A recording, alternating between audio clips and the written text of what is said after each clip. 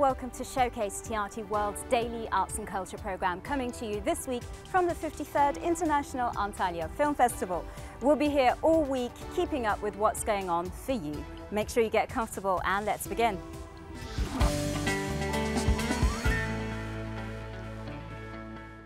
Turkish artist Nil Yalter is interested in bringing to light omitted facts, forgotten people and repressed emotions. She takes a hard look at our society in her exhibition, Off the Record in Istanbul.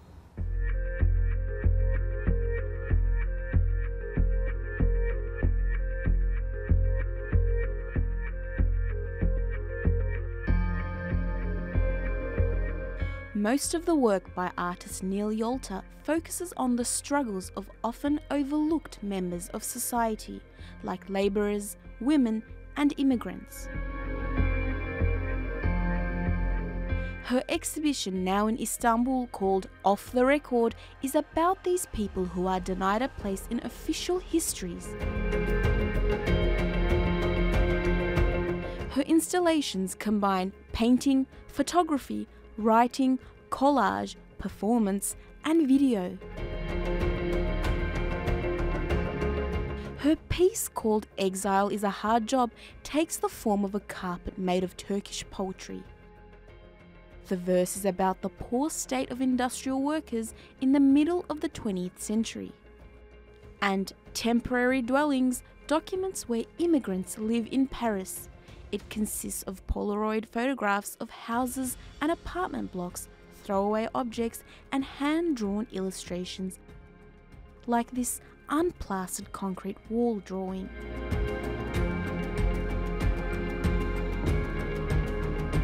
She goes to immigrants, talks to them, documents their uh, living places.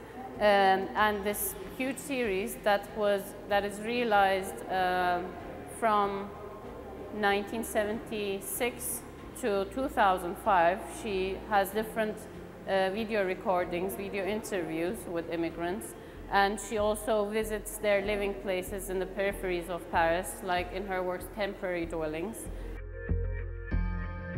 Another interesting part of the exhibition looks at an ex-convict named Mimi.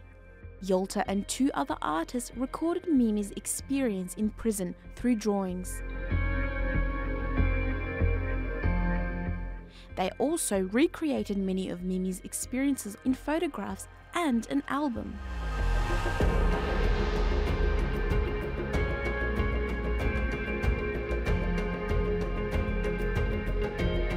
When we hear or read about Mimi's story uh, in this piece, the artists uh, also um, perform parts of the story. So you see uh, habits of the prisoners where they try to integrate themselves to real life. So they maybe they rip off a piece of paper from a magazine with an image of a salad bowl, which they never eat, and they start chewing on the piece. And it's sort of maybe their way of simulating uh, life outside. So you see these inventive moments where they feel alive, and these moments are brought back uh, abroad, performed by the artists themselves, and I think this is how sort of viewers are forced to uh, associate with life in prison. But Yalter's artwork doesn't just focus on problems in society. She also has works like Orient Express, in which she recorded her trip in 1976 from Paris to Istanbul. And Pixelismus, which looks at mosaics.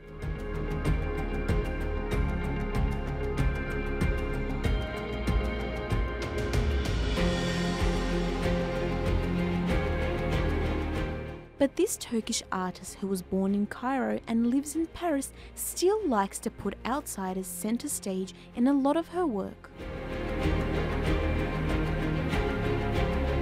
You can see it at the Arter Art Space until January the 15th.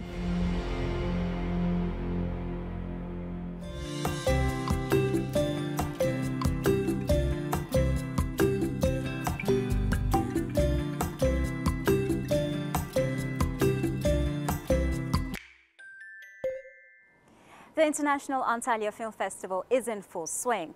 Aside from recognizing the best movies with awards, the festival aims to promote films across national and international commercial platforms. Miranda Atty finds out how.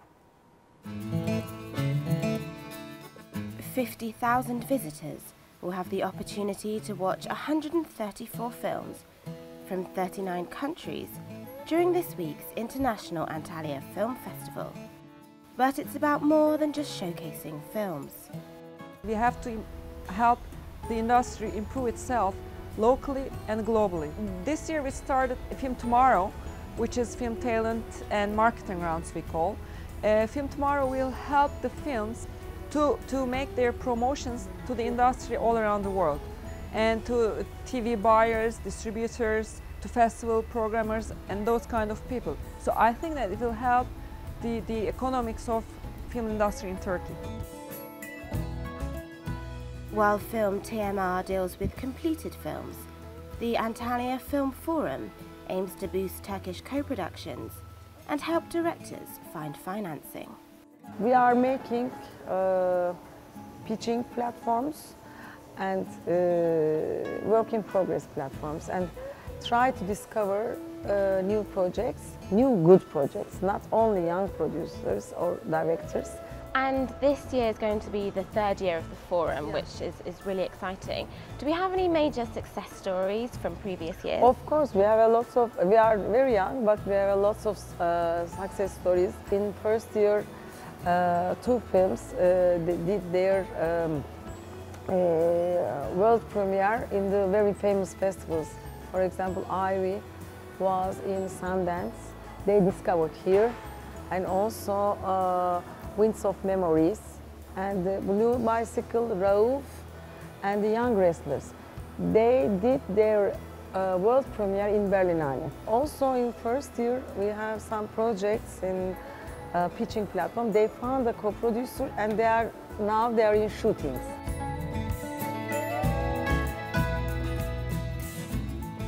This year, the festival added two special sections to the program. This festival is not only a national and international competition, but also contains some projects that are concerned with social issues. The world is going through this refugee crisis, and also this year there was the 15th July coup attempt. We have to keep both of these in our minds, so we devoted two sections of the festival to showing films related to these issues.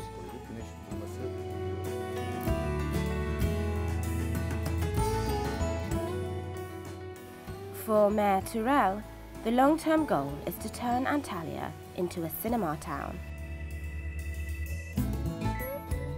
And if he succeeds, the festival's 2016 tagline, The light of the cinema shines from Antalya, will be true all year round. Miranda Atty, TRT World, Antalya.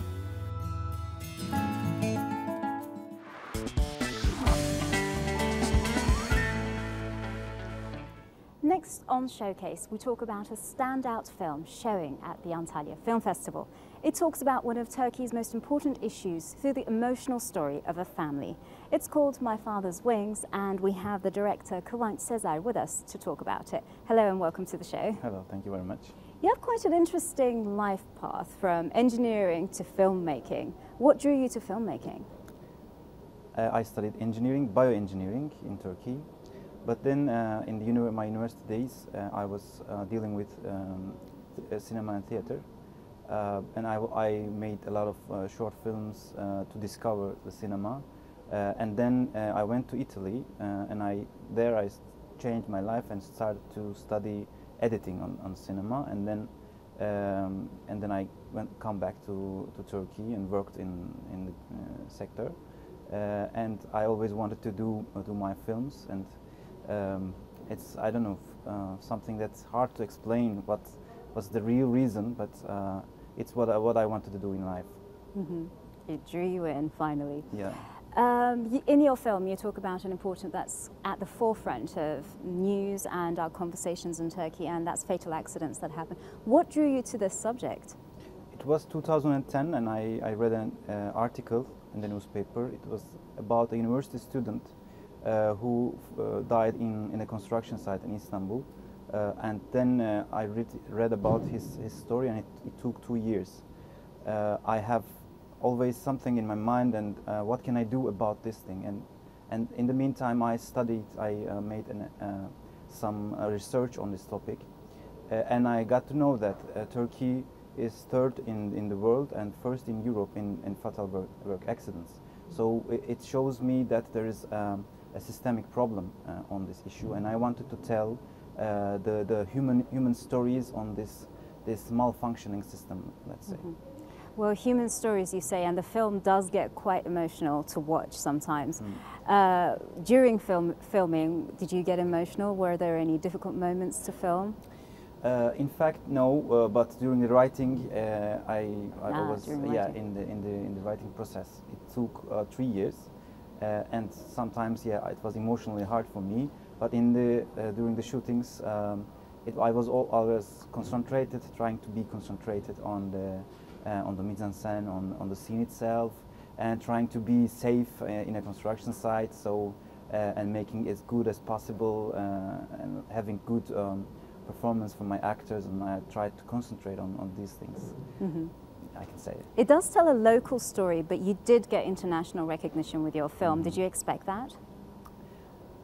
Uh, let's say uh, yes, uh, you have always, as a filmmaker, you have uh, some expectations for your film, but when you do it uh, afterwards, there's there's a saying that for a poem, um, um, for a poet, he he can know what he wants to write, but he, he doesn't know what he writes, mm -hmm. and so for me, I have always questions and doubts, and if if it works and if the story is uh, is going on the direction I wanted, etc. But when we premiered in, in Karlovy Vary Film Festival main competition, uh, it was a good sign that um, that the film um, crossing the boundaries of, of our country, uh, it, it, reached to, to, the heart of the uh, European um, European people and, and this festival. Uh, so uh, it was good for us to, to premiere there, and we had good some some good critics on the on the film. And so then we we came to Adana Film Festival and we got um, seventh prize out of uh, out mm -hmm. of mm-hmm. 18, and uh, it was also uh, very good uh, sign that that the people, uh, let's say uh, the festival and festival audience and, and the jury also liked the the film and interested in in this issue because this issue is I think worth to tell. it happens every day, and at least three three workers are dying a day um, it's really a, a, a bleeding wound uh, for me. So it was important to to mention this while making a, a good film, good uh, film out of it. So right. so I wanted to to to manage both uh, together and um, and yes, we had good signs, and now we're in Antalya, uh, and it's also a, a, big pleasure to be here. I can say. Mm -hmm. Kıvanç Sezer, thank you very much for joining us on Showcase. Thank you.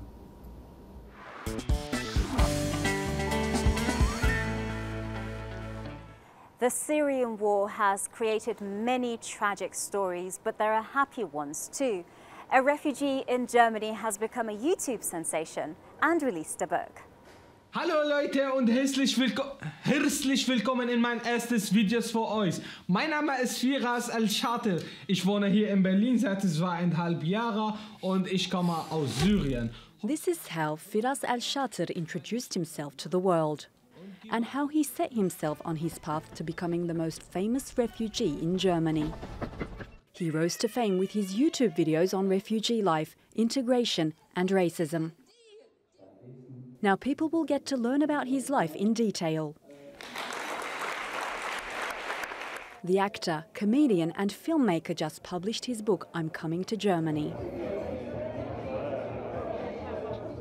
The book, written in German, follows Alshater from his life as a student and filmmaker in Damascus, through his imprisonment and torture by the Syrian government to his new life in Germany.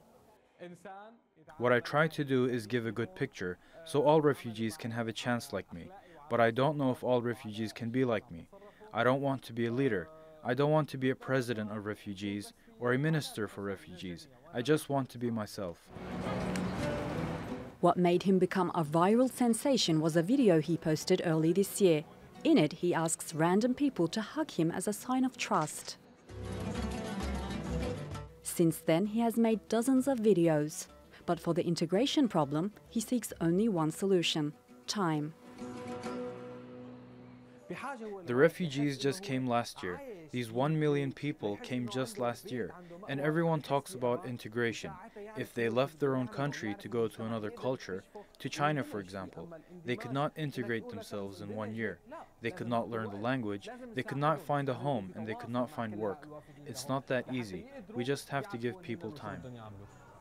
Although things have worked out for him as a refugee, Alshater says he had no other choice than to become one.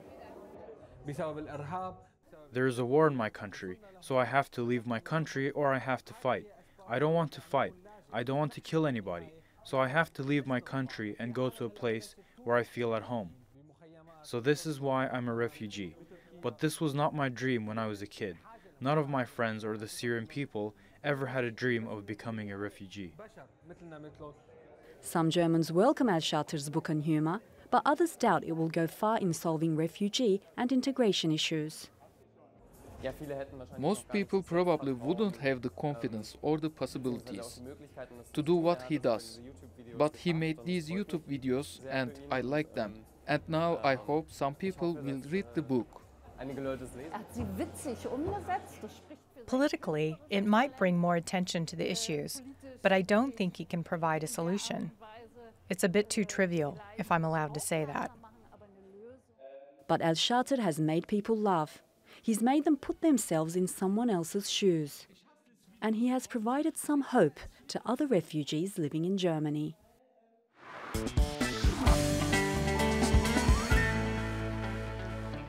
Mete Gumurhan is an international film producer. He made his directorial debut with a film called Young Wrestlers. We have him with us now to talk about the film that premiered at the Berlinale Film Festival and is currently showing here at the Antalya Film Festival. Hello and thank you for joining us. You're welcome. Your film documents daily life at the Amasya Wrestling Center. How did you discover this school? Actually, it's a very long story, so I try to uh, shorten it. Uh, actually, I wanted to uh, make a documentary about two brothers who Mhm. actually won uh, this prestigious uh, boarding school. And um, when we arrived in the city, I saw a gray mountain area and then this pink building with men testosterone. I thought, okay, this is so much, uh, there's so much uh, contrast with the pink and the man- manly testosterone. I could find here a story, so that's why I decided uh, to shoot there. I mean, when you saw the school, what moved you so much that you wanted to make a documentary and it became your first uh, directing effort? I got a support from the Minister of Culture, of course, uh, because of the uh, documentary funding. So, um, in the original story, in my director statement, there was something I wanted to tell about a new family setup when um, when you arrive somewhere. How do you find a new family setup? But when I arrived at uh, a boarding school, there were 26 children, and everybody came from different uh, regions. And then and there were children between the ages of 10 to 18 so i wanted to see how this dynamic could uh, work. So that's where i was the most um, yeah motivated by to do it. Hmm Did you feel some sort of responsibility to introduce this uh, culture, the sport and the culture that comes with it to a wider audience, or were you just moved by the kids' stories? Actually, why I wanted to tell something from the children's point of view because everybody knows already the uh, oil wrestling, but from the adult point of view, and uh, that's worldwide known. But those adults need to come from somewhere. So I thought, okay, where do I start? And it was the most easy uh, uh, decision to tell from children. So when I found a boarding school, uh, I started shooting following all these 26 children, but at, uh, at the end I needed to decide uh, which ones I needed to cut off uh, during the shooting period. So yeah, um, about responsibility.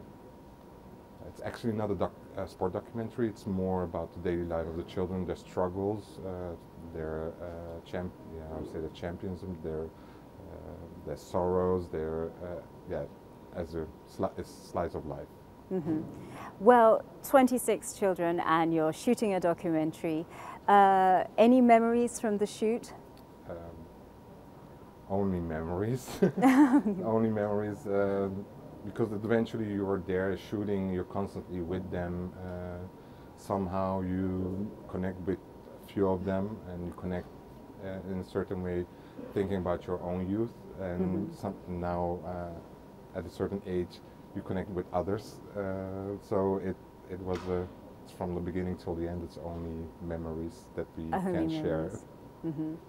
Well, this is the first time you've actually um, been the director. Uh, what are you working on these days, and do you have plans to continue directing? Yes, definitely. Definitely. definitely. I just got the support from the Minister of Culture uh, for a script. It's called Monkey Boy. Oh. And also got from the Dutch Film Fund uh, support for the script development. And I'm also pitching it here at the Antalya Film Forum, this project tomorrow. And I just got recently support for a new documentary, also a youth documentary. Um, so yeah, there are a lot of youth films in the future. Mm-hmm. Mete Gumurhan, thank you for joining us You're on welcome. Showcase. Thank you for having me.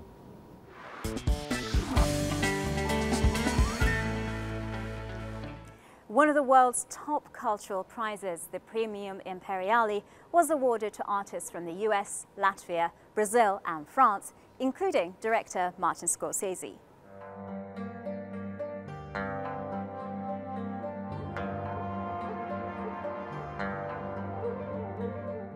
One of the world's greatest filmmakers was honored in Japan as he is making a film set there. Martin Scorsese was one of five artists to receive Japan's highest cultural honor, the Praemium Imperiale. Scorsese is now making the movie Silence about two Christian missionaries who traveled to Japan in the 16th century. Once I'm drawn to a subject, um, I find I have to be comfortable with that subject, and I have to spend the time there, and I have to spend the energy, and I have to enjoy that, meaning that I really want to do it. The director of Raging Bull and Taxi Driver received his medal in Tokyo from Prince Hitachi, brother of Emperor Akihito. Another winner of the Global Arts Prize was American Cindy Sherman. She won in the painting category, although she works primarily as a photographer. She's known for often making herself the subject of her photos. French artist Annette Messager won the prize for sculpture. She creates her work with everyday items like magazines, knitting, and cushions. Brazilian architect Paulo Mendes da Rocha was recognized for maximizing space in the buildings he designs and highlighting the appeal of simple materials like concrete and steel. Latvian violinist Gidon Kremer won the music prize. He's the founder of the Kremerata Baltica, a chamber music orchestra for young musicians from the Baltics. Prime Minister Shinzo Abe sent a video message to the winners. The prizes are awarded each year. They were established to recognize the best from the arts world, like the Nobel Prizes do for the sciences. Each winner also receives $140,000. That's all we have time for on this edition of Showcase, coming to you from the 53rd International Antalya Film Festival. We'll be back soon with more from the world of arts and culture, but before we go, we'll leave you with a trailer for Into the Inferno. I'm Özlem Shitan. Thank you for watching. Bye for now. The sun dimmeth, the land sinketh, gusheth forth steam and gutting fire. To the heavens soar the hurtling flames of the mighty gods, the engulfing doom. It is hard to take your eyes off the fire that burns deep under our feet. This was a monstrous volcanic eruption, one of the largest in all of Earth history. Obviously, there was a scientific side to our journey, but what we were really chasing was the magical side, no matter how strange things might eventually get. It is a fire that wants to burst forth, and it could not care less about what we are doing up here.